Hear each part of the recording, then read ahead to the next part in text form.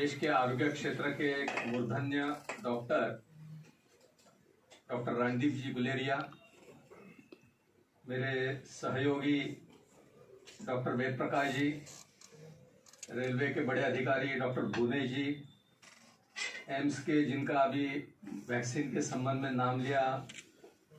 अगर वैक्सीन का क्या होता पता नहीं, अभी तक तो हमने भी नहीं ली, लेकिन डॉक्टर संजय राय जी श्री हरिशंकर जी, शिवम जी और संचालन करने वाले प्रोफेसर त्रिपाठी जी।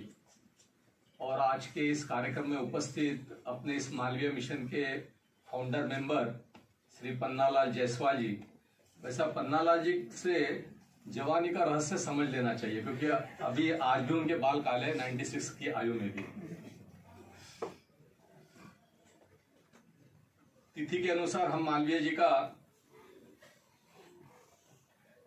जन्मदिन मना रहे।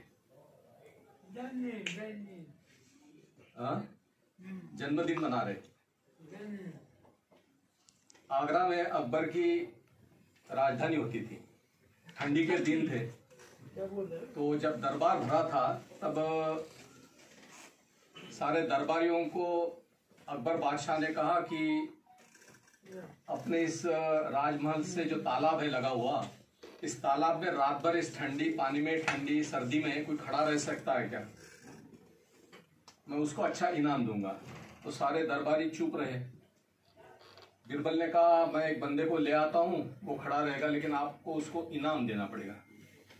तो अकबर बादशाह मान गए। बीरबल ने एक धोबी को लाया, रात भर उसको खड़ा किया। रात को झाँक कर अकबर ने भी देखा। दूसरे दिन जब दरबार खुला, तब उस धोबी को बिरबल ले आया। और अकबर ने उनको पूछा, आप रात भर ठंडे में रहे, ठंडे जल में रहे? तो उन्होंने कहा हाँ रहे। लेकिन आप रहे कैसे सके? तो बोले, दूर जो कंदील जल रहा था राजमहल का, उसके तरफ़ मैं टकटकी लगा के देखता था और उस भर मेरी रात कटी। तो अकबर ने कहा कि इसका मतलब है कि वहाँ से आपको ऊर्जा मिली होगी, ताकत मिली होगी तो मैं आपको कोई इनाम दे दूँगा। इस पर बीरबल अकबर से बड़ा बहस करने लगा कि इसका और इसका कोई संबंध नहीं है, दूर थी, लेकिन ये रात भर खड़ा रहा, आपने जो ऐलान किया है, उसके मुताबिक इसको इनाम देना चाहिए। अकबर माना नहीं। बीरबल ने गुस्से में सात दिन की छुट्टी थमा दी। अकबर ने, वो भी बीरबल की छुट्टी सैंक्शन नहीं की। दूसरे दिन दरबार लगा तो बीरबल दिखाई नहीं दिया। अकबर को बड़ी चिंता हुई।